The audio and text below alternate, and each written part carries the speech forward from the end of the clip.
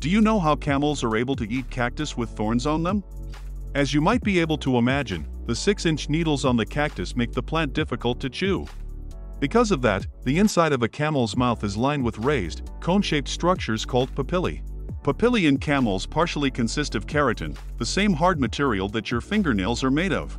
Papillae can be found in the mouths, internal cheeks, and tongues of camels, and they manipulate food to flow in one direction, generally toward the stomach. Although camels can physically eat cactus, munching on the spiky plants can little bit painful.